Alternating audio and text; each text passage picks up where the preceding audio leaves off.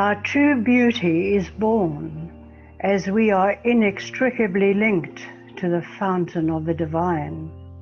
Yes, it is more than the link. We live the link and birth it. We wear the beautiful fabric of our true inheritance like a radiant garment, inner and outer. Each thread of this radiant garment enlivens our capacities, threading and imbuing ourselves to face life's highest true direction.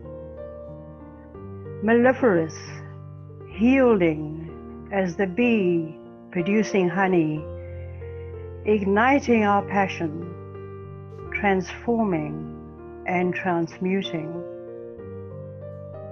forgiving into holiness, into ascendance.